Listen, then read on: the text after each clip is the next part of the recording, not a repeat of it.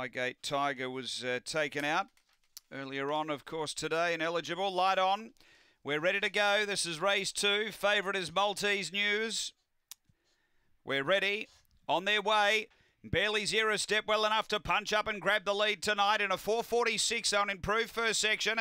Maltese News chasing through and going after it quickly and puts the head in front of the back. A couple away Woodside Forest, then Son of Harker and Allegra back at the tail end. Down the back, Maltese News out by three quarters to Barely Zero, who's trying to rally and doing so as well. A couple away Woodside Forest and then Son of Harker Allegra on the turn. Barely Zero took over from Maltese News and pulls clear. Oh, the late mail stretched on to win it well, Barely Zero.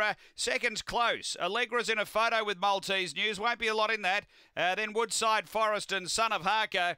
Time here is around 30 and 20. Barely zero for Colin Rana. Uh, she gets the prize tonight. She was able to punch up early, headed by Maltese News, but then quickly poured the pressure on.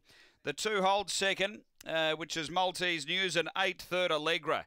Numbers are one, two, eight, and four. Barely zero for Colin Rana. Number one. Uh, second going to two, which is Maltese News for Tony Rasmussen, and third to eight, Allegra.